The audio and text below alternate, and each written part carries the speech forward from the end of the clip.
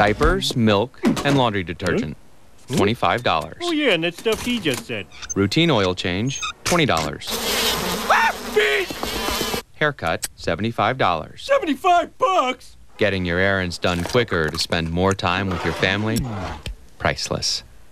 That's getting your errands done quicker to. Yeah, yeah, I heard you the first time. Stupid voiceover. There are some things money can't buy. For everything else, there's MasterCard. Ooh, it, oh,